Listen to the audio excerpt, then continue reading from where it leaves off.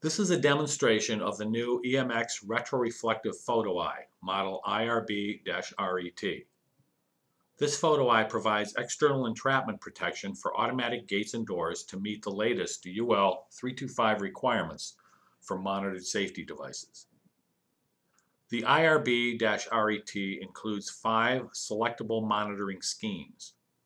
First, normally closed contacts, where power to the transmitter is cycled while monitoring the receiver contacts for proper operation. Second, two-wire, two-frequency pulsed method provides a 300 Hz heartbeat pulse indicating an unobstructed beam and 0 Hz when obstructed. The power supply line is pulsed allowing for a two-wire connection to the operator. Third, a two-wire, three-frequency pulsed method provides a 300 Hz heartbeat pulse indicating an unobstructed beam, and 2 Hz when obstructed, and 0 Hz when failed or connections have been compromised. Fourth, a four-wire pulsed provides either of the two previous pulsing methods over an isolated pair of connections.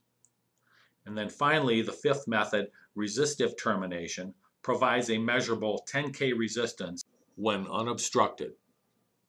The pulsed infrared light source is aimed at the reflector positioned up to 60 feet away. Since a reflector is used on the opposite side of the roadway, wiring associated with a typical through-beam transmitter device is eliminated.